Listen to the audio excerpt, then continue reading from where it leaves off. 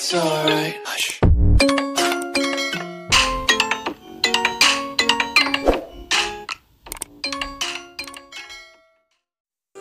আসসালামু আলাইকুম। বহুদিন পরে বড় অপার বড় দুলাভাই বাংলাদেশে গিয়েছে, সুতরাং দাওয়াতের ছড়াছড়ি। যাই হোক, গত পর্ব দেখিয়েছিলাম ছোট শালিকার বাসায়। আজকের পর্ব মেজো এবং কনিষ্ঠ শালিকার বাসায় দাওয়াত দুলাভাইয়ের বড় দুলাভাইয়ের সবাই একসাথে খাবে।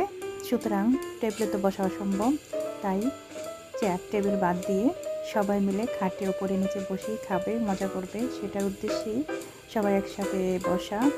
আর ছোট শালিকা বাসায় তো আমরা খেয়ে আসলাম।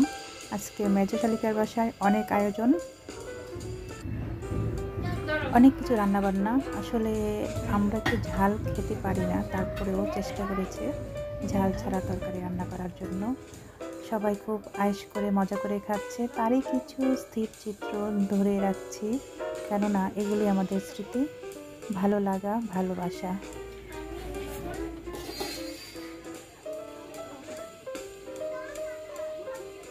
অনেক আয়োজন, অনেক অনেক রকমের মাছ, গরুর মাংস, মুরগির মাংস, যা হয় আসলে সচরাচর খাবার।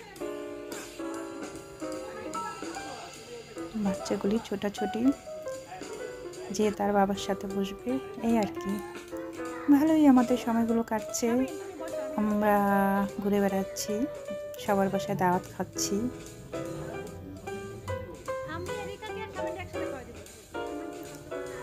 যেহেতু আমাদের পরিবারেরই ব্লগ, সুতরাং ঘুরে ফিরে আমরাই বিভিন্ন বাসায় বিভিন্ন পজিশন বিভিন্ন খাবার নিই।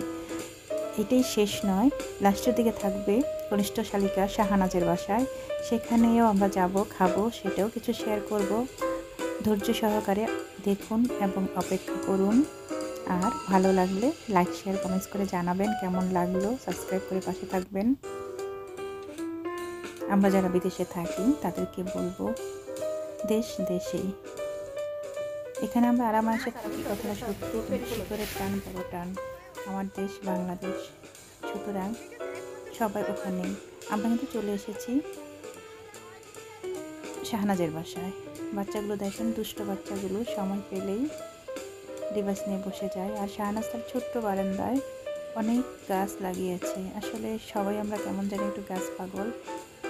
পুঁই শাক শশা করলা এবং বিভিন্ন পাতা ফুলের গাছ। অ্যালোভেরা সহ আছে। সুতরাং সব গাছই ওর বাসায় আছে। এবার চেয়েছিলাম অবশ্য আমি একটু গাছ নিয়ে আসব। আর ওর বাসায় আমরা খাব খিচুড়ি। ওর হাতের খিচুড়ি অসাধারণ। সুতরাং সবার প্রিয় ছিল যে, যেহেতু মেজো শালিকার বাসায় আমরা অনেক কিছু খেয়েছি, ছোটো শালিকার বাসায় শুধু আমরা খিচুড়ি মাংস খাব। সুতরাং আমরা খিচুড়ি মাংস খাওয়ার জন্য সবাই রেডি হয়ে এসেছি। রেডি হয়ে বসে আছি প্লেটে খাবার নিয়ে। অসম্ভব সুন্দর। অসম্ভব মজার খাবার। ভালো থাকবেন সবাই দেখা হবে.